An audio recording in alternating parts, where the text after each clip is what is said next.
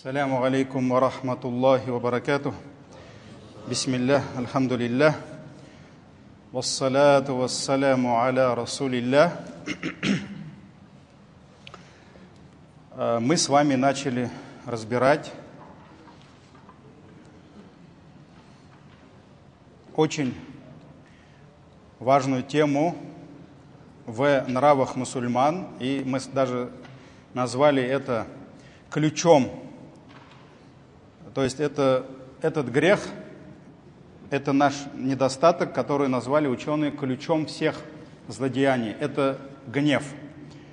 И вспомним быстренько хадис, где пророк, саллиллаху алейhi дал насихат, назидание, завещание одному из подвижников, который ждал каких-то больших, длинных речей, и пророк ему сказал, ля тахдаб, не гневайся, ащуланма, не гневайся.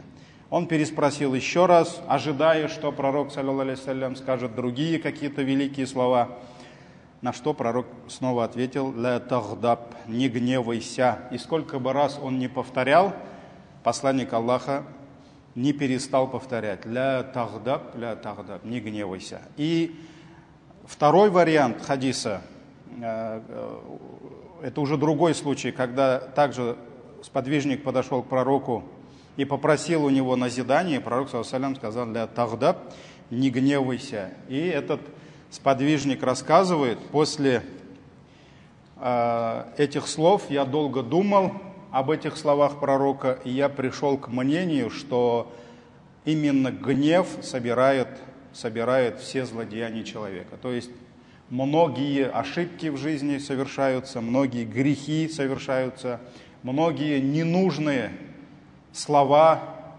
вылетают из уст человека во время гнева. И э, сегодня давайте посмотрим два рецепта. Что делать во время гнева? Во время гнева. Э,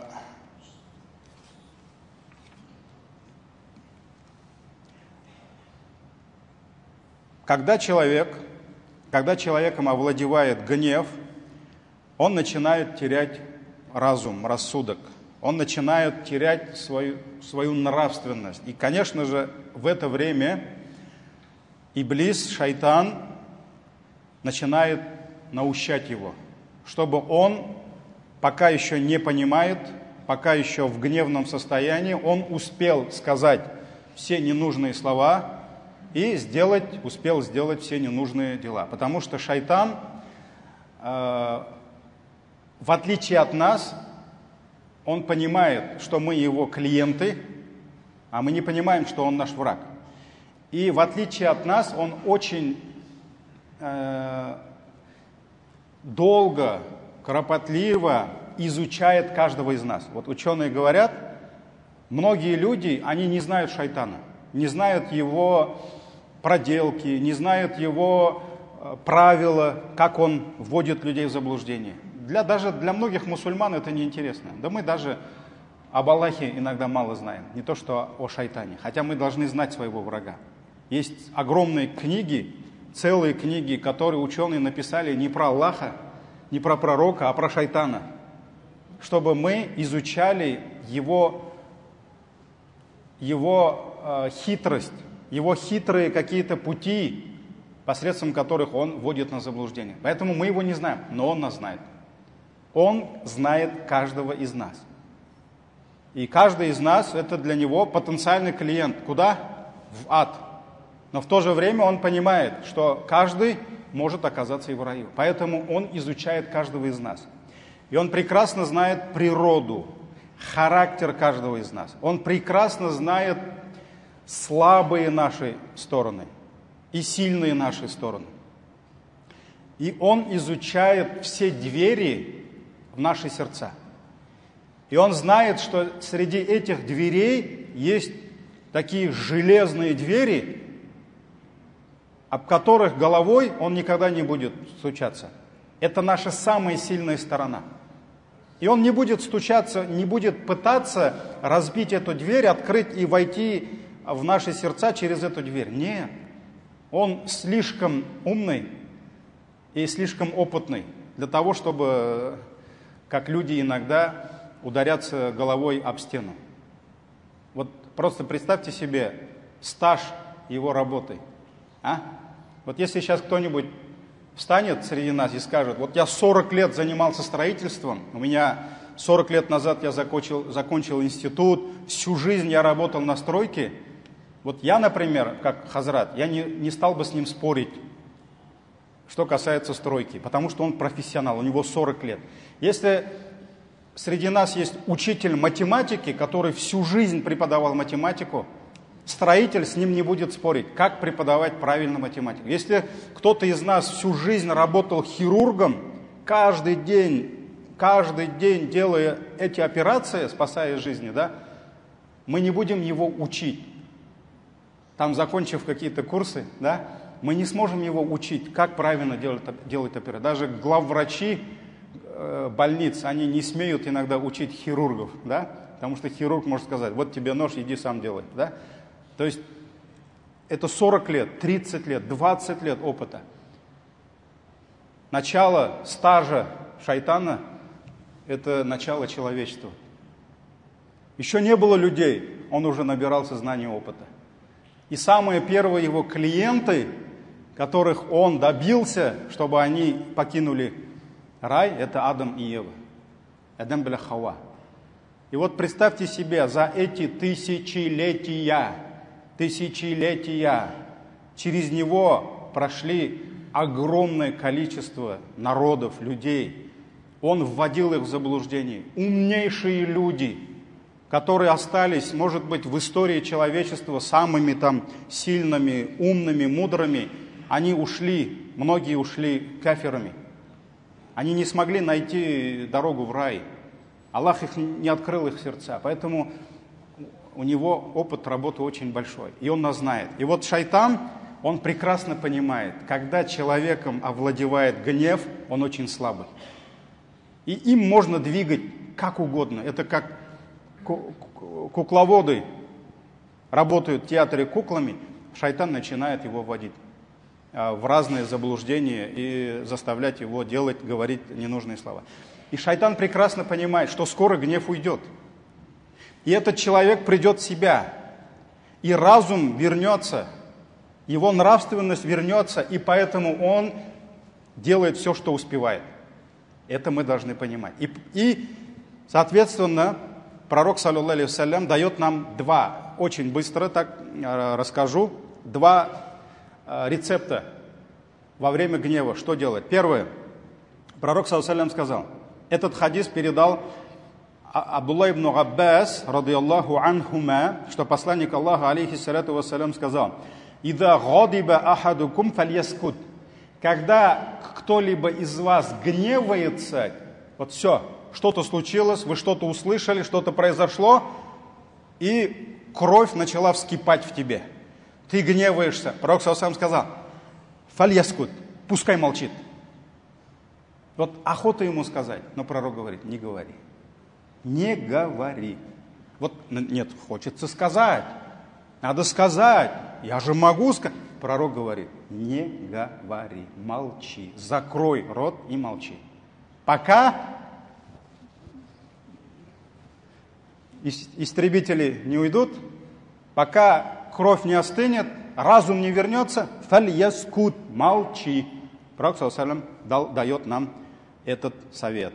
Э, этот хадис сборника имама Ахмада. И на самом деле, дорогие братья, огромное количество ненужных, которые разрушают нашу жизнь, проскачивает во время гнева. Вот есть здоровые наши братья, которых я очень люблю. Это наши братья, мусульмане. Это мы с вами. И никто не обезопасен от этого, которые иногда сидят в кабинете и плачут. Потому что буквально вчера он поддался гневу и выкинул три слова талак своей жене, с которой они жили 15 лет, и у них трое детей. И он сидит, плачет, потому что он хочет жить с ней, он любит ее. У него дети смотрят на него. А по исламу три талака. Все. Все. Да, потом он начинает искать высказывания некоторых ученых, которые утверждают, что эти три талака можно посчитать как за один талак. Но, но, дорогие братья, думать надо вовремя. Я уже одному брату сказал, я говорю, хоть собака крикнул бы жене. Ох, собака десян дали, вы бы муж и жена были. А зачем талак кричать? Зачем? Забудьте это слово. Даже некоторым братьям я говорю, говорите один раз. Ну вот если надо, один раз. Один патрон, все. А, э, три цикла проходят, она свободна. Но у тебя еще есть два. Вы можете пожениться. А когда уже три талаха, все. И это мнение большинства ученых. Вот. Поэтому э, в семье родители поддаются гневу, поддаются гневу. И во время гнева дұғалар шығып кетелер, некоторые ненужные слова. И Аллах же принимает эти дуа. Поэтому первый рецепт, когда тобой овладевает гнев, когда кровь вскипает, давление в сердце, лицо красное становится даже.